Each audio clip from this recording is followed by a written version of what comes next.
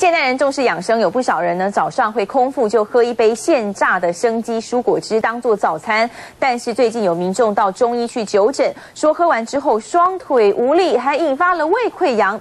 医师说蔬果汁是很寒凉的，应该饭后喝才对。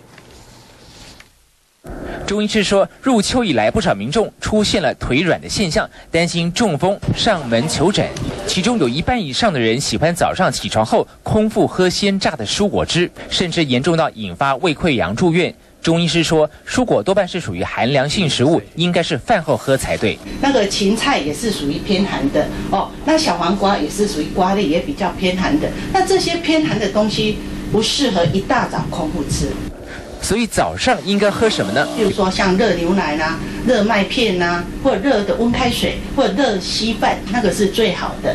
另外，鱼虾蟹等海产也是属于偏凉性的，有人吃了会胃胀、拉肚子，所以习惯早上打一杯果汁或是精力汤当做早餐的民众，要注意自己的饮食习惯，必须要改变了。